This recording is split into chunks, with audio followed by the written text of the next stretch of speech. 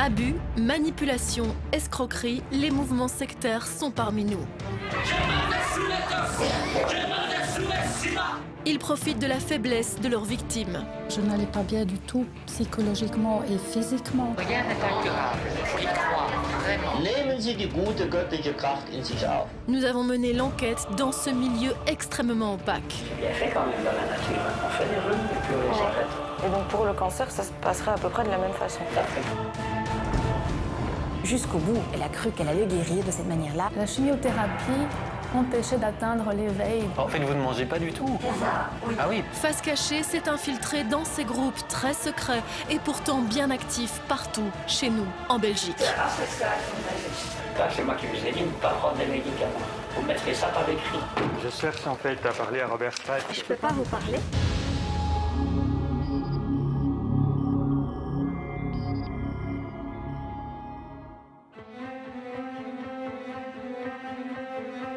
Bonsoir, c'est un plaisir de vous retrouver pour Face Cachée, votre magazine d'investigation qui vous plonge ce soir dans l'univers très secret des sectes et des groupes aux dérives sectaires qui surfent sur la tendance actuelle, celle de la santé et du bien-être. Guérir d'un cancer par la prière, soigner l'infertilité par des incantations, ne plus ni boire ni manger, mais uniquement se nourrir de méditation et d'air pur. Cela vous semble impossible. Et pourtant, c'est le discours de ces gourous que nous avons rencontrés et qui font des victimes partout chez nous en Belgique. Des victimes qui témoignent ce soir dans cette nouvelle enquête de Face Cachée. Les sectes, un mot presque tabou. Et pourtant, chez nous en Belgique, des dizaines de milliers de personnes seraient victimes de groupes nuisibles. Emprise, manipulation, violence, les dégâts chez les victimes sont considérables. Les témoignages de ceux qui en sortent sont souvent bouleversants, mais ils sont rares. Pour débuter cette enquête, j'ai besoin de comprendre ce qu'il se passe dans la tête des adeptes. Je rencontre Sophie, elle accepte de nous raconter ce qu'elle a subi durant plus de 25 ans. Sophie a vécu dans une communauté très controversée en Belgique, l'Ocassé. La trame sectaire, elle est là. Elle est de toute façon là et là, il n'y a pas de doute. Les manipulations, les abus, toutes ces choses dans l'ombre, tout ce qui est caché du système, il y a vraiment un pervers là-dedans qui tient tout ça. C'est vraiment une secte. Sophie est la rescapée de ce mouvement sectaire dont le gourou était un certain Robert Spatz. C'est lui qui a fondé et dirigé cette communauté d'inspiration bouddhiste à Bruxelles. Elle comptera jusqu'à 500 membres. Aujourd'hui, le leader charismatique est poursuivi en justice. Il a été condamné en 2016 à 4 ans de prison avec sursis pour des faits graves, abus sexuels sur mineurs, séquestration, escroquerie. Sophie n'est en réalité qu'une enfant lorsqu'elle intègre cette communauté. Ma mère est partie et pour moi, c'était c'était un choc. J'ai couru derrière et puis euh, et voilà, c'était fini. Et, euh, Et votre vie alors là-bas, comment ça se passe? Et on était beaucoup d'enfants, avec euh, notamment une personne pour tous les enfants. Ça a varié de 40 jusqu'à plus de 70 enfants dans toute cette période.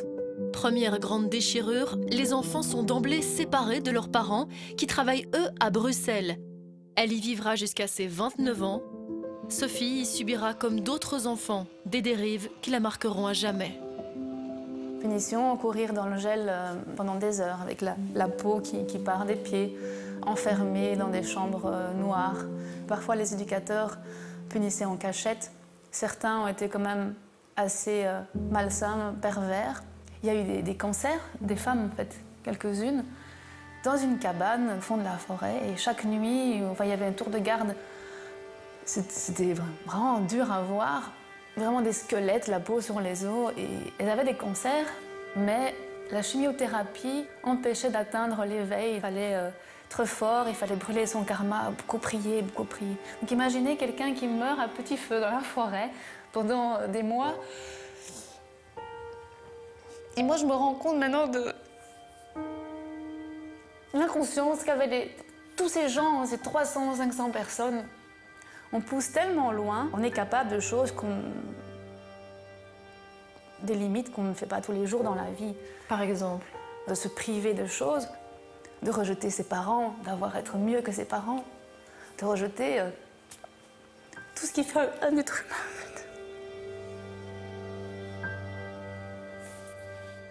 Des souvenirs marqués au fer rouge pour ces enfants, aujourd'hui devenus adultes. André Frédéric est l'un des plus grands spécialistes des mouvements sectaires nuisibles en Belgique. Il a notamment participé à la commission d'enquête parlementaire sur la question en 1997. Voilà, monsieur Frédéric, vous êtes euh, un petit peu le monsieur secte chez nous en Belgique. En tout cas, vous êtes la référence dans notre pays. Quand vous voyez ce genre de témoignage, qu'est-ce que ça vous inspire? Mais d'abord, énormément d'émotions. Ça touche à des enfants donc qui n'ont pas opéré un choix, qui sont victimes des choix des autres. Et c'est une problématique grave dans toute une série de dérives sectaires, et souvent sur des gens qui sont en situation de difficulté, en situation psychologique difficile, en situation affective difficile, que ce soit dans le domaine de la santé ou que ce soit dans d'autres domaines où effectivement euh, les gosses n'ont pas, pas donné leur avis. Et quel carnage, quel carnage Robert Spatz, le gourou, a été condamné en première instance à 4 ans et demi de prison avec sursis. Un jugement en demi-teinte pour les victimes. Le tribunal a prononcé une confiscation de 4 millions d'euros. Le procès est à présent attendu en appel. Aujourd'hui, le fondateur de ce mouvement sectaire se cacherait en Espagne. Nous partirons tout à l'heure sur ses traces, à sa recherche, pour tenter de le débusquer dans l'une de ses luxueuses demeures. Je sais qu'il est là. Comment vous savez Je sais qu'il est là. Et comment vous avez eu ce résultat Mais qu'en est-il aujourd'hui des mouvements sectaires? Le phénomène aurait changé. Ces groupes se sont diversifiés. Il y en aurait peut-être même plus qu'auparavant. Détresse, solitude, maladie, la santé, ce serait le nouveau filon pour ceux qui veulent profiter d'un état de faiblesse. C'est ce que constate notamment André Frédéric, qui est aussi président d'une association d'aide aux victimes des mouvements sectaires. En Belgique, il y a eu la création d'un observatoire. Donc si pendant des années, on était face exclusivement au schéma traditionnel euh, des, groupes apocalyptiques, on a constaté qu'il y avait une forte diversification dans le domaine de la formation professionnelle, de l'éducation, du développement personnel, mais aussi, surtout, ce qui nous interpellait le plus, dans le domaine de la santé. Mais comment est-il possible de tomber dans de telles dérives? Qui sont ces nouvelles organisations et comment recrutent-elles? Pour le comprendre, c'est notre journaliste Lucas qui va les infiltrer discrètement, en caméra cachée notamment. Premier constat, il ne faut pas vraiment aller bien loin pour entendre des discours très suspects. Nous sommes à Wavre, en septembre, dans l'un des plus grands salons consacrés au bien-être, mais aussi à la spiritualité. Un événement ouvert à tout un chacun, et d'emblée, certains discours vont nous plonger dans un univers, dirons-nous, de science-fiction. Ce sont des, des frères de l'espace et des pères et de l'humanité qui transforment le vaisseau lumineux. On en a eu à Châtelet et à Bruxelles dans notre communauté. Mais c'est pas des photos truquées, ça, honnêtement. Non, honnêtement, C'est vous qui avez pris les photos. ça c'est moi qui ai pris la photo, ça c'est moi qui ai pris la photo. Des frères de l'espace qui se sont manifestés à Châtelet et à Bruxelles. Le ton est donné. Faut-il en rire ou en avoir peur? Nous pénétrons en tous les cas déjà dans un univers parallèle. À quelques mètres de là, un autre stand, celui du Cercle des Amis de Bruno Gröning. C'est un prétendu guérisseur d'une organisation contestée. Bruno Gröning, c'est ce monsieur-ci, c'était un guérisseur allemand. Il disait toujours rien n'est incurable. Ah, ouais. Dieu est le plus grand de tous les médecins. Ah, même le cancer? Oui, on a des belles guérisons de cancer. Ah bon? Il y a des gens comme madame, là, boum. Là, ça a été une guérison instantanée. Et on en a. et, que- et comment ça se passe alors euh? Il croit vraiment. Ah, c'est ça. Hein, euh, certitude absolue de guérison. Il faut être déterminé, quoi.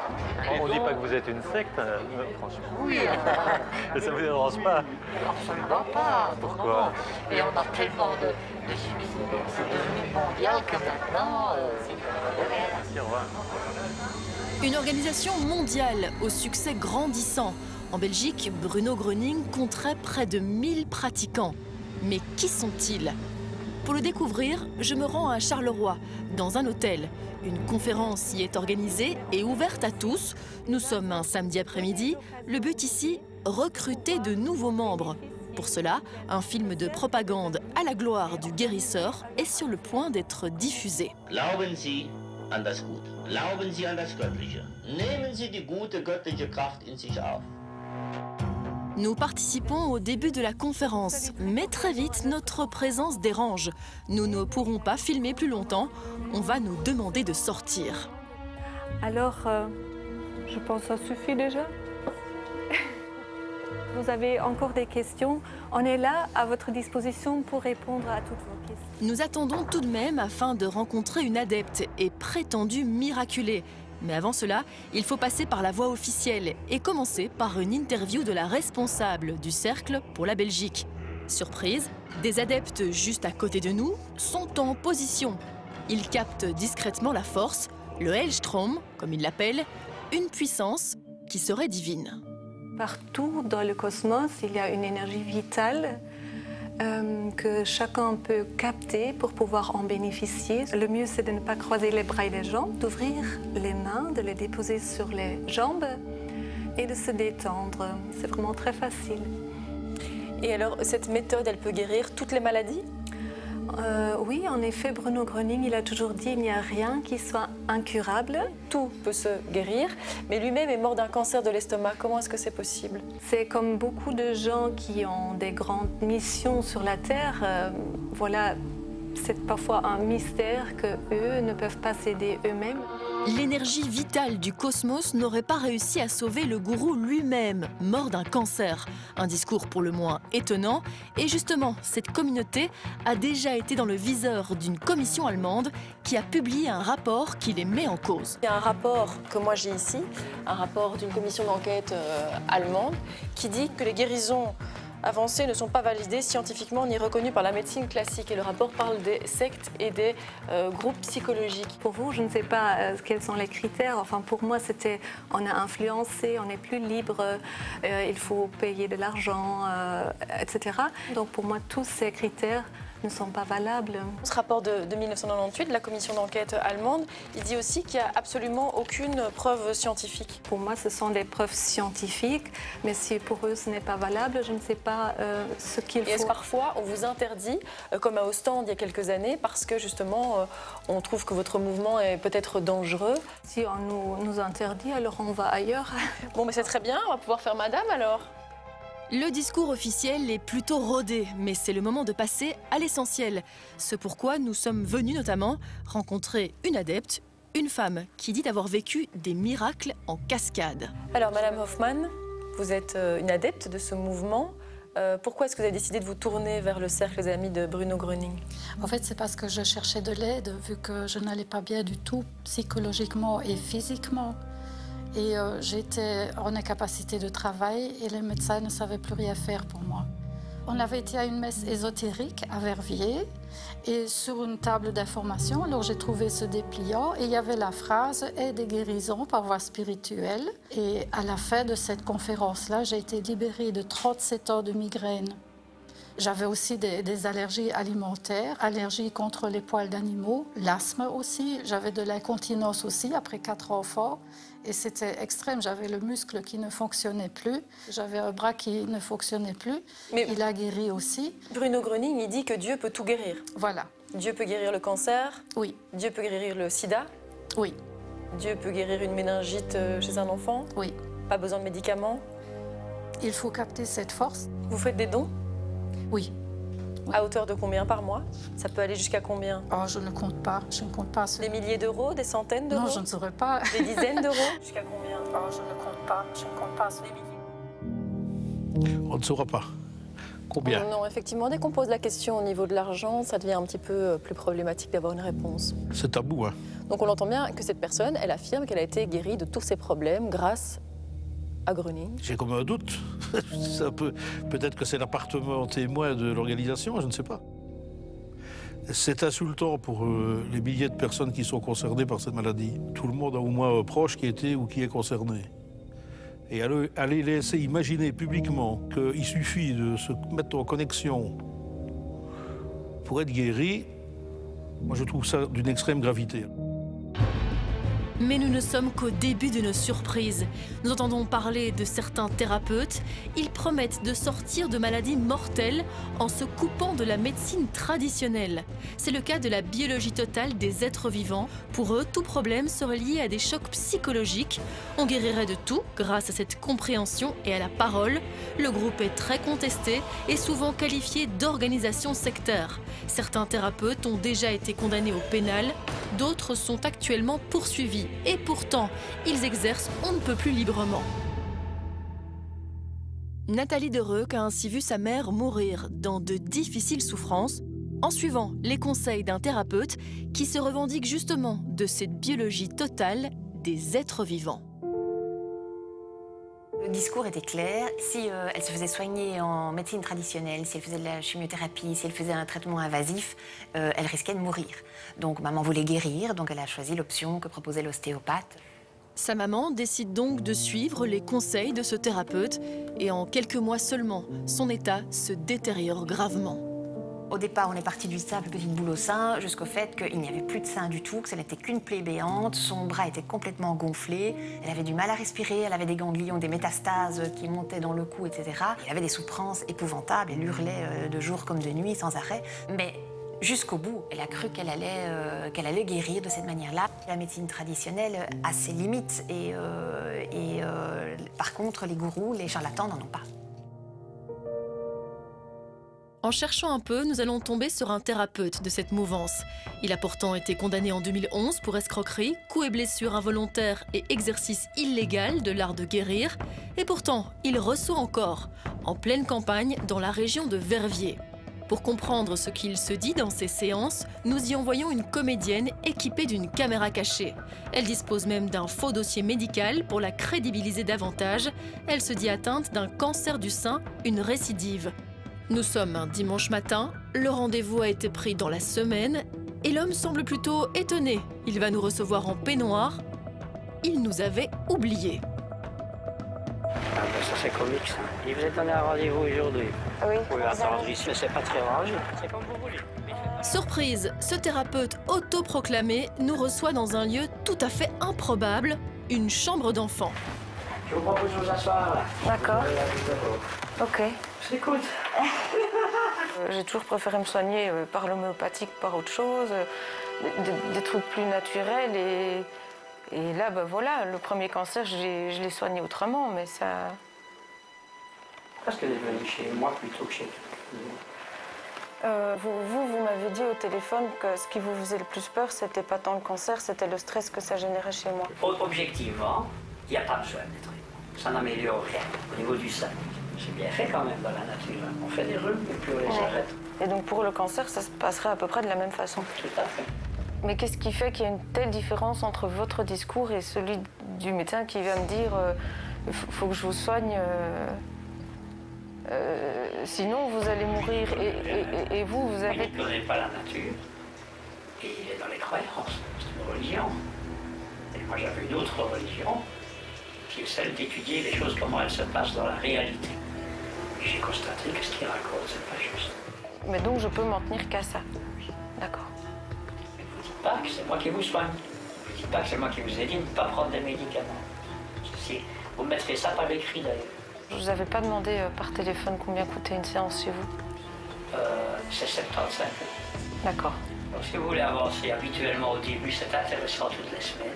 Ça vous pourrait vous faire un budget de 7 x 4, 28, 300 euros. Des propos troublants, dérangeants. Des pseudothérapeutes proposent donc bien de guérir le cancer selon des principes qui seraient on ne peut plus contestables. Ces gourous tireraient ainsi profit d'un état de faiblesse de leurs victimes. Alors que faire face à de telles dérives? Nous nous rendons dans les locaux du Centre fédéral d'information sur les organisations sectaires nuisibles, le CIOSN, un centre créé voici 20 ans. C'est la référence en Belgique. Nous y rencontrons sa nouvelle directrice, Kerstin van der Put. Même si elle connaît très bien cette problématique, cette spécialiste reste toujours très touchée par de telles révélations. Voilà, donc ce monsieur a déjà été condamné et pourtant il continue de recevoir des gens à qui il demande 75 euros par consultation. Alors là, je- c'est euh, une fois de plus, euh, on se rend compte que tous les éléments se retrouvent une fois de plus, à savoir l'encouragement à ne pas être traité par les moyens traditionnels d'une part, il y a un abus de faiblesse éventuel de cette personne, le, paiement financier euh, est- budgétisé euh, en moins de 15 minutes ou 12 minutes d'entrevue. Voilà. C'est impressionnant. La directrice se dit choquée par nos images, mais affirme ne rien pouvoir faire. Sans plainte, ce supposé thérapeute ne peut pas être inquiété. En attendant, il a l'air bien heureux en glissant les billets dans son portefeuille.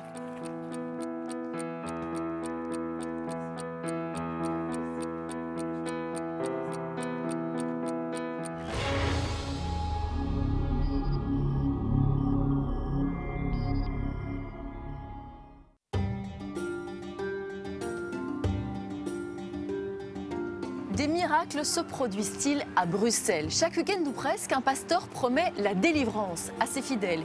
Ils viennent du monde entier pour espérer une guérison. Des fidèles qui entrent littéralement en transe sous les chants et les prières du gourou.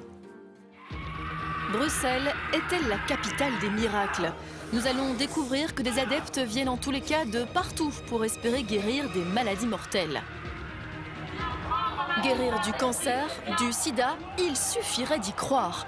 Pour propager la bonne nouvelle, sur Internet, un pasteur n'hésite pas à diffuser des vidéos chocs. On dirait presque des bandes annonces de films au cinéma.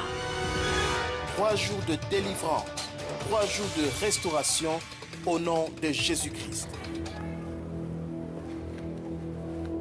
Notre reporter et une complice vont s'immiscer dans un week-end de retraite chez les évangélistes controversés.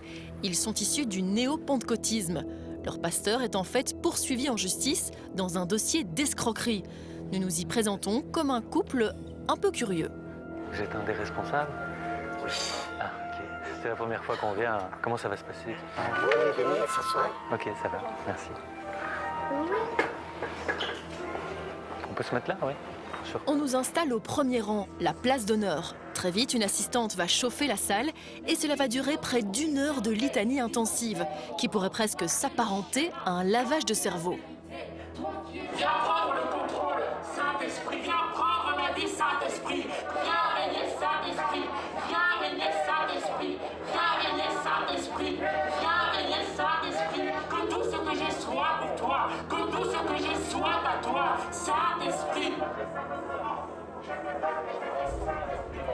La salle est prête, pratiquement en transe. Le pasteur peut faire son entrée.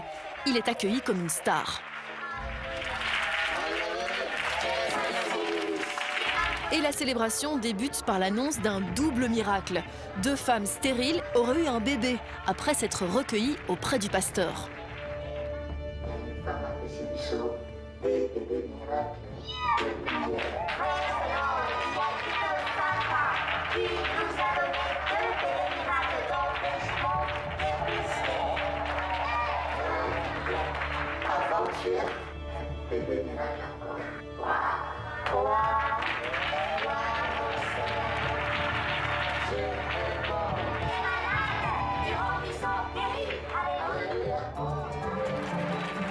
Des miracles et des prières qui mettent littéralement la salle en transe. Ici, on vient du monde entier pour rencontrer ce pasteur à Bruxelles. Maman, d'où venez-vous? Cameroun. Et d'où venez-vous? Lyon. Et vous, d'où venez-vous? Lille. Le pasteur nous prend un parti. Il pense que nous sommes venus pour un problème d'infertilité. Il nous promet alors un bébé grâce à la prière de délivrance. Elle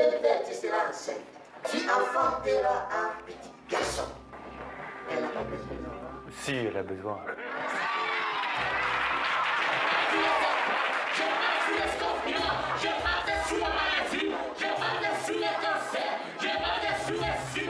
Avant de passer au miracle, un grand panier est posé sur la scène. C'est le moment de faire des dons. Ici, on voit grand pour récolter des billets de banque. Le pasteur est très attentif aux offrandes. Apportez une bonne offrande, s'il vous plaît. Je suis aussi votre nez, vous regardez Ne froissez pas les billets. Il ne faut pas froisser les billets. C'est ça. Viens donner. J'observe, j'examine. Pas le choix, nous aussi nous devons passer à la caisse. Les billets s'accumulent, mais pour le pasteur, il n'y a pas encore assez de billets de 50 euros. J'ai besoin de 5 personnes pour m'apporter la somme de 50 euros. La fin de la célébration prend tout à coup des allures de vente aux enchères. Qui dit mieux On peut aussi payer par carte. Même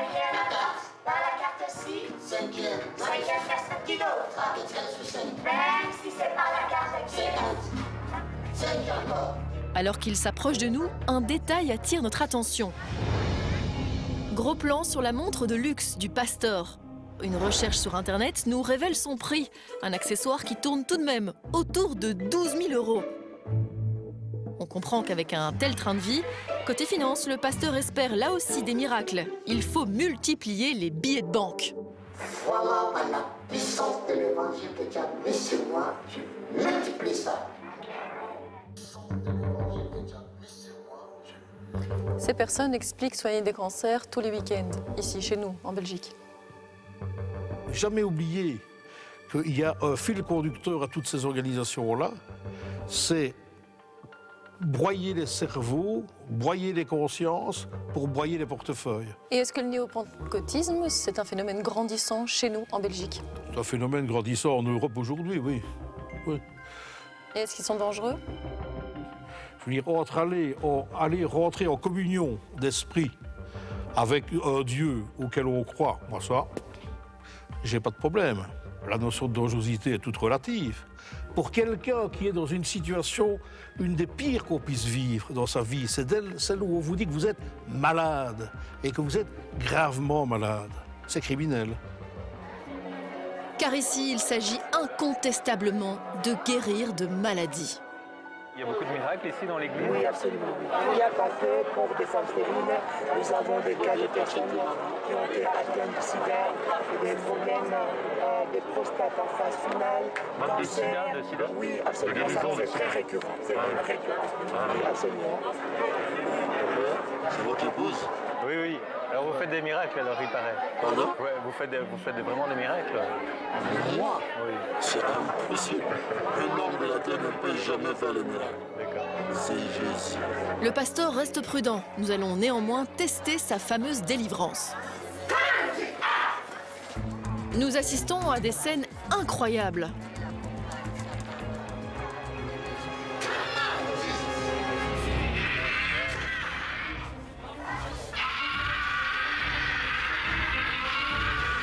Cris, incantations, la maladie doit s'évacuer, quitte à la sortir de ses tripes.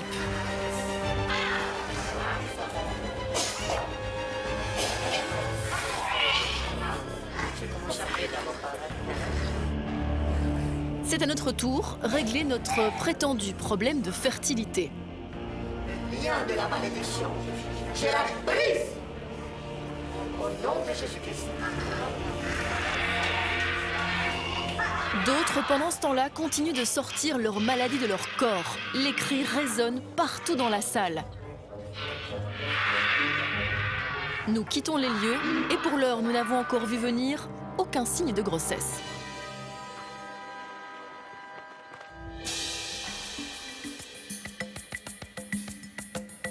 Dans le monde des gourous, il ne semble n'y avoir aucune limite, ou en tous les cas, elles sont repoussées de plus en plus loin. Certains prétendent ainsi arriver au bonheur en arrêtant de manger et de boire. On les appelle les respiréens, un mouvement considéré comme sectaire.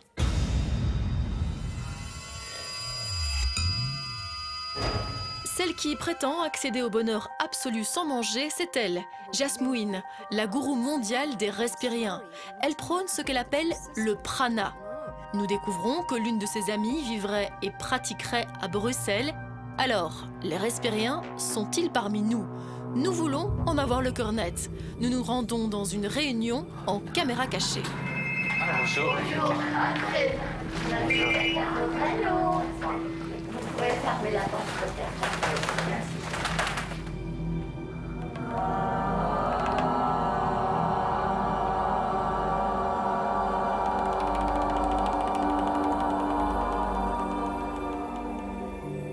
En fait, je peux poser une question En fait, vous ne mangez pas du tout ou comment ça se passe euh C'est ça, oui. Ah oui, pas du Je tout. n'ai pas besoin de nourriture physique du tout. Je n'ai pas besoin. Et J'ai vous- jamais faim et jamais soif. Vous faites ça depuis combien de temps en fait, euh, de ne plus 17 manger ans. 17 ans Ah ouais. C'est pas qu'on choisit un jour on va plus manger ou boire. Chez moi, c'est vraiment venu grâce à mon chemin spirituel et que j'étais arrivée à un point où tout d'un coup je me suis rendu compte que j'avais plus faim ni soif. Moi, je trouve que c'est bien ça, parce que les gens disent oui, mais ce, ce genre de gens dans, dans ton genre sont des fous. Mais si c'est prouvé scientifiquement, c'est juste. Il y a de plus en plus, hein, même les petits-enfants, hein, Oui. qui mangent presque rien, Tout j'ai à fait. fille comme ça. Il faut les laisser. Écoute, euh, ça, il faut les laisser parce que c'est dans les, les- les nouveaux enfants ont déjà ça dans les gènes. Je crois. Il faut vraiment les laisser euh, et c'est beau. Les nouveaux enfants qui auraient moins besoin de manger. Un discours plutôt difficile à avaler. Pour analyser ces images, nous faisons appel à un professionnel reconnu de l'alimentation et de la santé. Serge Peters est diététicien agréé. Ce scientifique a notamment travaillé pour l'Agence spatiale européenne dans le cadre d'études sur l'alimentation des astronautes, mais aussi à l'hôpital des enfants. Alors là, je pense que ce message est tout à fait criminel. C'est quand même euh, un risque de mortalité élevé. Cette dame n'a peut-être jamais travaillé auprès d'enfants qui n'avaient pas ce dont ils avaient besoin pour euh, vivre. Dans nos conditions, c'est trois jours sans eau. Après cela, le corps ne peut plus fonctionner. Et en ce qui concerne la nourriture, toutes les personnes qui ont fait des grèves de la faim, après 40 jours, on arrivait déjà dans des situations irréversibles. Et généralement, 50-60 jours, c'est fini. La pratique est effectivement tellement dangereuse qu'en juin dernier, une adepte belge est décédée. Elle suivait cette croyance depuis deux ans.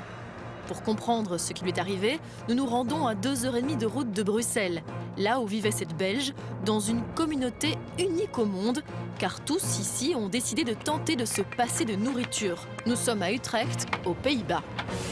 Vous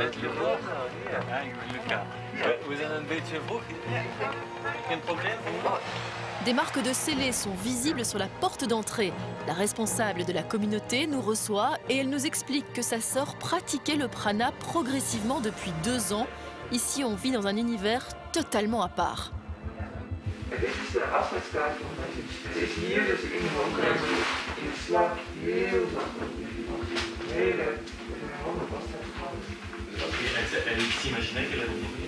Nee, ik zag wel dat het moeilijk was. En dat het, uh, we hadden eigenlijk verwachting dat hij ons ook maar meer niet doorgaan. En, en nu, hoe eet je? Ja, we eten een sap en we delen een boterham. We eten heel weinig. Maar, maar we eten dus nu, uh, wij uh, verslaafd zijn aan eten. Malgré ce décès, la communauté n'en démord pas. Le but ici est toujours de se passer un jour totalement de nourriture. La police a ouvert une enquête pour déterminer s'il y a ou non non-assistance à personne en danger.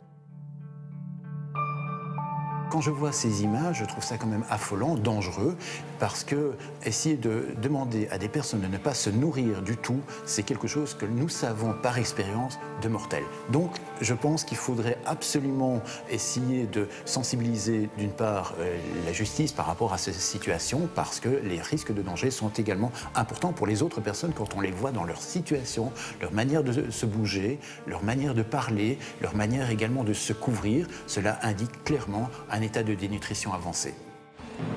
Mais comment peut-on se faire prendre dans les griffes de ces groupes au discours dangereux?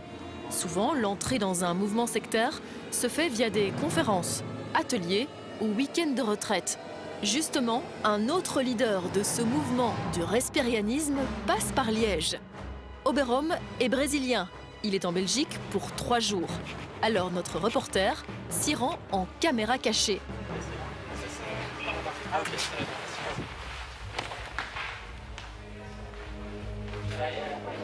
Le mentor est venu y vendre ses livres, signer des autographes, donner des conférences et participer à des ateliers. Certains participants sont convaincus par l'aura et les performances prétendues exceptionnelles de l'orateur.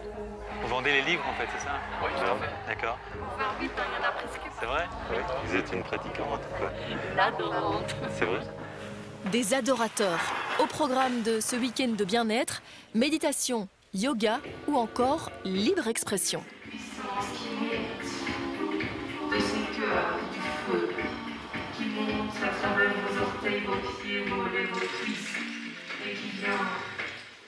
Un lâcher-prise qui mène à certains moments tout de même à une transe collective qui procure à certains manifestement beaucoup de plaisir.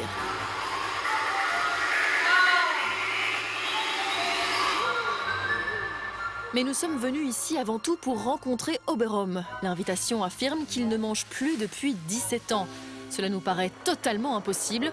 En insistant un peu, Oberom nous confie effectivement le contraire. Ce grand nom du respirianisme n'est donc pas abstinent.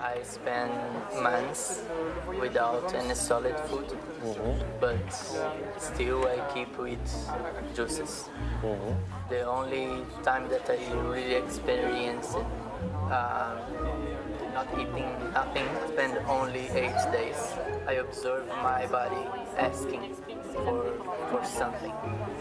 I, I don't work to be free from food. Thank you. It. Alors comment certains peuvent-ils malgré tout défendre le fait de ne plus rien boire ni manger? Retour à Bruxelles. Nous avons sollicité une rencontre avec la plus grande pratiquante de ce mouvement en Belgique et amie de la gourou mondiale Jasmine. Elle accepte notre interview à visage découvert. Nous allons donc pouvoir en savoir plus sur cette pratique qui nous paraît insensée et qui se déroule aussi chez nous en Belgique. Jamais vous mangez J'ai jamais faim et jamais soif. Alors du coup, je peux rester aussi longtemps que je veux. Donc vous pensez que tout le monde peut faire ça, que l'humanité pourrait euh, Je pense que l'humanité euh, va y arriver au fur et à mesure. Nous sommes déjà les précurseurs de ce mode de vie. Donc si un enfant refuse de boire ou de manger, on peut le laisser comme ça, c'est pas dangereux pour sa ça, santé. Non. Il y en a de plus en plus. Aussi, il y a les plantes qui n'avaient plus besoin d'être arrosées. Les animaux, même dans le ménage, n'avaient plus besoin. Euh, en fait, euh, c'est contagieux. Et les gens qui sont avec moi ont moins faim. Pourquoi est-ce que vous avez besoin de donner de l'eau à vos plantes que je vois ici Mais euh, ça ne marche pas chez tout le monde. Peut-être que je n'ai pas encore le pouvoir. Si j'ai bien compris, vous pensez que l'humanité tout entière va pratiquer cette méthode du prana Oui. et qu'un jour l'être humain arrêtera totalement de manger et de ça. boire. Oui, ça fait partie de l'histoire de l'humanité. Nous sommes venus des étoiles et évidemment, nous étions dans un état beaucoup plus éthérique que maintenant. Mais la tâche euh, d'apprentissage de l'humanité sur la Terre était de vraiment expérimenter euh, le, le physique, l'état physique. Vous vous nourrissez aussi de la nature. Oui, parce que très. euh, et je, je me nourris aussi de beauté. Quel rapport vous avez avec Jasmine, qui est, la, rep- qui est la représentante au niveau mondial? Nous sommes de très bonnes amies et je voyage parfois avec elle et l'aide dans ses séminaires aussi. Elle Vous pouvez voyage. faire des dons? Euh, comment? Vous pouvez lui faire des dons? Oui, aussi. Elle vit de ça. Il y a un pratiquant très connu brésilien, Oui. Oberon. Il vient régulièrement ici aussi. Il était en Belgique récemment. Il n'y a pas longtemps, effectivement. Oui. Et lui non plus ne boit pas et ne mange pas? C'est ça. Pourtant, il nous a dit le contraire. Il nous a dit qu'il Oui, buvait il- des euh, jus et qu'il un mangeait. Petit peu, un petit peu comme moi aussi. Donc finalement, vous mangez quand même. Euh, mais un petit peu. Un petit peu, c'est- pas rien du tout. Ça veut dire que vous vous nourrissez quand même de temps en temps. Oui, mais ça, ça serait jamais assez pour, euh, pour quelqu'un de, de- de normal, disons. Et parce Ça que vous on arrive de voudrait- manger quand même seul. Ah ouais, Et vous ne buvez jamais d'eau Même après le sport? Pas besoin, vraiment pas. J'ai jamais soif. Vous n'avez pas l'impression que c'est un discours un peu dangereux Non. Pour, euh, pour nous, c'est pas dangereux parce que euh, nous, nous prouvons que c'est possible. Pour nous, c'est possible. Alors si pour nous c'est possible, les autres peuvent le faire aussi. Vous seriez prête euh, maintenant, comme, comme l'a fait Jasmine, de passer un test euh, et de, de rester avec nous sans boire, sans manger pendant euh, plusieurs jours et qu'on surveille vos, vos signes vitaux? Non. Je n'ai rien à prouver. Je sais que ça fonctionne. Je peux le faire n'importe quand, quand je veux, mais je n'ai pas besoin de prouver. Hors de question de, de- de prouver ça avec un médecin. Un refus catégorique de participer à notre test. Il faut dire que médicalement, rien n'a jamais été prouvé, si ce n'est que boire et se nourrir sont indispensables à la vie. Jasmine a dans le passé participé à une expérience de télévision. It's too dangerous to continue? Very much so. Too dangerous to continue. Stop now. Un test qui a montré qu'elle ne tenait pas plus de trois jours sans boire ni manger. Elle continue néanmoins de diffuser ses vidéos sur Internet et de donner des conférences dans le monde. Elle a publié une quarantaine d'ouvrages qui lui assurent un revenu confortable.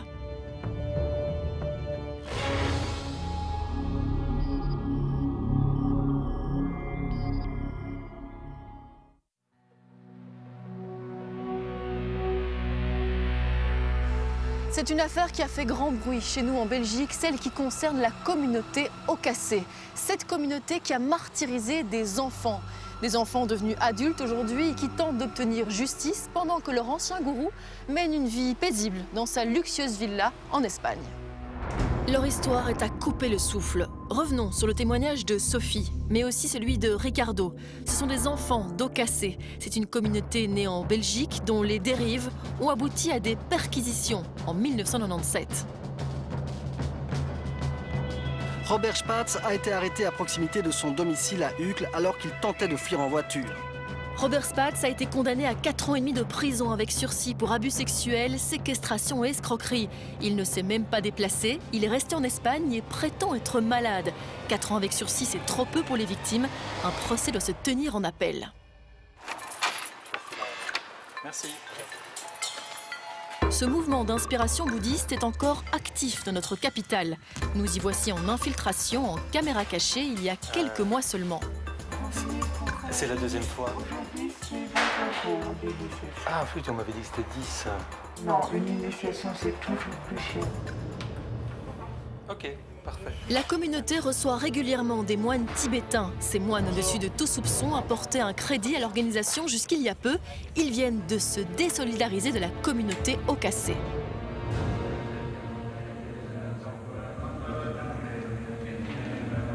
Même si Robert Spatz ne fait officiellement plus partie de la communauté, on le défend encore. Et sa photo est toujours affichée dans les locaux.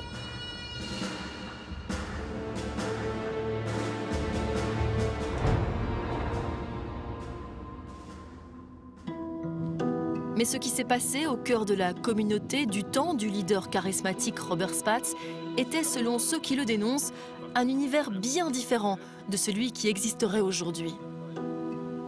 On était convaincus qu'on était des, des gens exceptionnels. On était au-dessus de tout. Ce qui se passe dans les années 80 et ce qui vient par la suite est vraiment une dérive qui s'installe et dont les membres d'Ocassé sont totalement incapables de, de reprendre à un moment le contrôle, euh, les rênes et de se dire euh, on n'est pas d'accord. euh. Parfois, j'ai vraiment une haine, pas sur mes parents, mais sur les gens en général de la communauté, les adultes. Parce que moi, je me dis qu'eux, ils ont su des choses sans doute. Et que malgré tout, ils n'ont pas cru les enfants.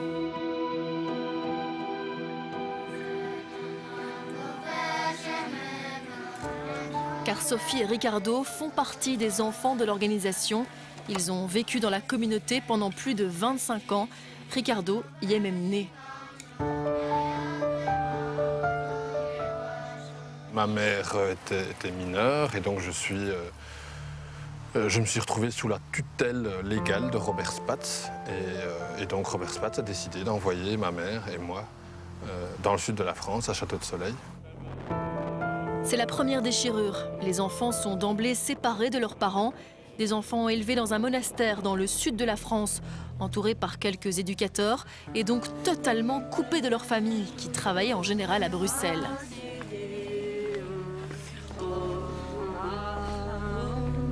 Donc ma mère est partie et pour moi, c'était un choc. J'ai couru derrière et puis euh, voilà, c'était fini. J'y suis restée de mes 7 ans jusqu'à mes 16 ans à Château de Soleil. Et puis après, dans un autre programme de mes 16 ans à mes 21 ans, dans un monastère euh, éloigné euh, en Algarve. Et la vie là-bas n'est pas toujours rose. Des plaintes seront bien plus tard déposées pour des faits de mœurs, mais aussi contre d'autres dérives et abus présumés. Il y a cette espèce de normalité de la violence où, euh, pour finir, quand on voit des, enf- des enfants qui pleurent ou qui se font taper dessus, euh, c'est des punitions. Voilà, c'est des punitions. Il y aurait eu aussi plus tard, durant leur adolescence cette fois, dans un monastère au Portugal, des soirées qualifiées de débauche. entre 12 et 18 ans. Et euh, on a appris à boire comme des marins. Quoi. Ils séparaient des couples. Il y avait des couples présents dans des fêtes. Ils mettaient euh, telle femme avec un autre homme. Vraiment, ils jouaient avec euh, les uns les autres. Il y a eu des abus. Parfois, nous, on dormait dans des hangars, 13 filles dans un hangar. Et euh, les garçons, euh, quelques garçons étaient lâchés en pleine nuit euh, chez nous, plein d'alcool. Spad prenait des petits groupes, ils jouaient avec ça, l'expérimentation. Et donc c'était la débandade totale, quoi. C'était euh, trois gorilles sautant dans le noir, dans les lits des filles. C'était des expériences que lui il faisait avec vous.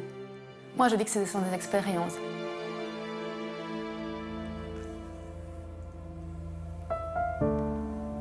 Ce qui est difficile, c'est d'avoir dit vraiment difficile, d'avoir été dans des extrêmes psychologiquement et physiquement pour quelqu'un qui s'avère en fait être pervers et qui nous a vraiment, qui nous a utilisés pour juste pour lui, pour le plaisir d'avoir du pouvoir et de, jouer avec les gens, de faire des expériences.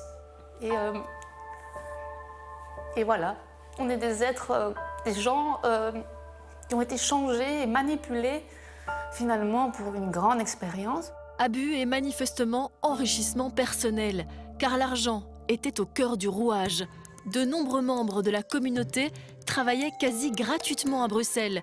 Le gourou vivait quant à lui dans le luxe.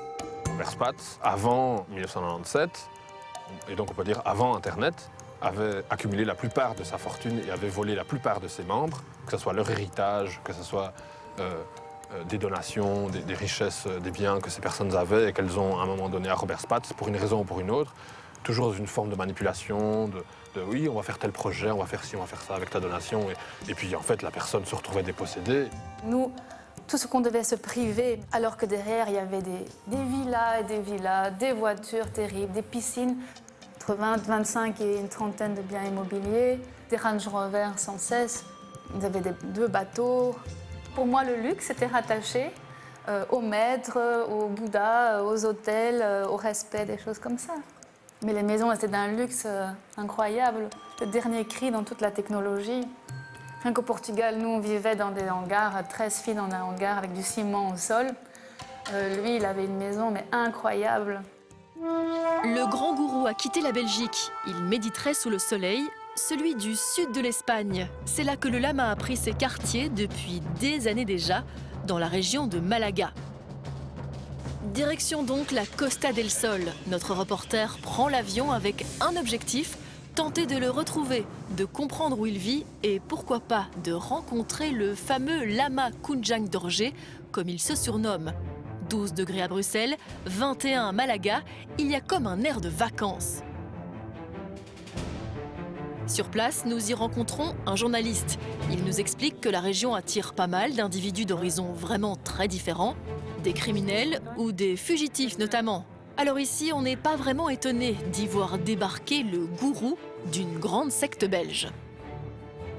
Surprised isn't quite the right word. I mean, people will, will go where they think they're going to be safest. Um, there is a tradition, as I said, of criminals hiding out in Spain, uh, and maybe he thought it was a good place to come. Uh, maybe he had a lot, of, maybe he had a lot of followers in the area. I don't know, but um, not surprised, but equally, it's not an everyday occurrence. Excuse me, you know this man? I don't know. No, I, I never seen before. Okay. No.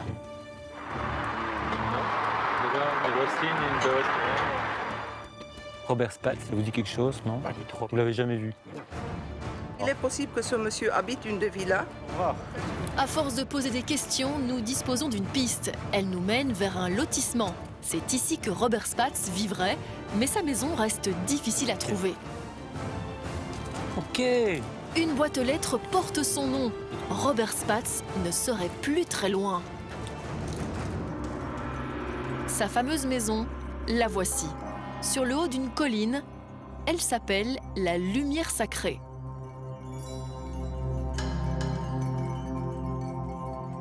Nous sonnons, demandons à voir Robert Spatz, mais là, on nous refuse l'entrée.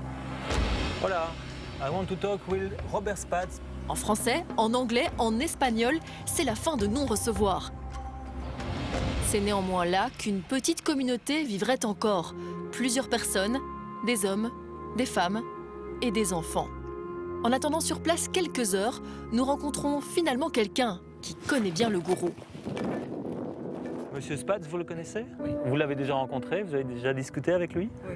Et vous savez s'il y a des gens qui sont restés dans cette maison ou comment ça se passe? Il y a toujours C'est toujours sa maison, c'est toujours à lui. Ah oui. Et c'est encore euh, une communauté, vous pensez, une petite communauté? C'est la maison rouge. Il y a quelques gens jeunes qui viennent, ils sont très discrets. Never speak with anyone. But it was, for me, always very suspect. They never ever spoke to us. 'cause, Ok. uh, we live very close there. You know that there was a cult? I could hear in the morning, I can hear them chanting. That's when he lived there. Yes, yes, yes, yeah. And now there's only one woman and a little baby. Il y a une caravane dans le terrain. Mais il y a longtemps qu'il n'habite ici. Il vit où en fait maintenant? Il vit à Marbella. Marbella, c'est là que Robert Spatz se cacherait, à 45 minutes d'ici. Dans l'une des zones les plus chics et les plus luxueuses de la Costa del Sol. Ici, les Bouddhas sont plutôt en façade des discothèques. Ils côtoient les voitures de luxe et les yachts. On y est manifestement très loin d'avoir renoncé aux biens matériels.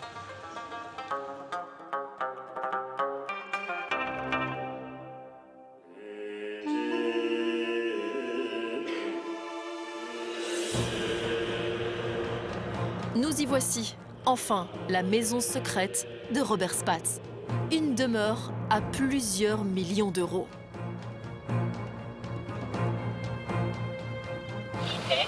Je voudrais euh, parler à Robert Spatz, s'il vous plaît, Lama Urzan Dorje.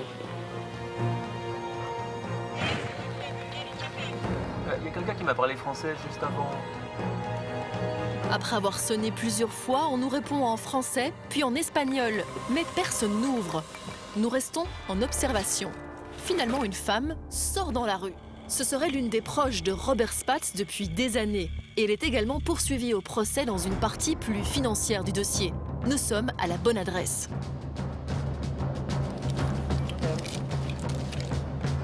Je, je cherche en fait à parler à Robert ça Je voulais savoir s'il était là et si je pouvais le rencontrer. euh, Mais écoutez, non, c'est pas le moment. à cause du procès, c'est ça? Mais c'est pas le moment. Pourquoi ça vous pose un tel problème Je sais qu'il est là. Comment vous savez Je sais qu'il est là. Et comment vous avez eu cette adresse Nous, on n'est pas une communauté. Bon, si, Non, je suis une communauté. Vous avez toujours été euh, défini comme une communauté. Mais c'est ça l'erreur. Il a quand même été condamné, on va dire. Mais, mais qu'est-ce que vous faites exactement Non, mais vous me dites, euh, je, je ne sais pas. euh, Bon, en fait, euh, on arrête là, si vous voulez. mais Est-ce que M. Spade va encore à Bruxelles ou je ne sais pas Est-ce que je peux rencontrer à Bruxelles Il a des problèmes de santé, il ne peut pas voyager.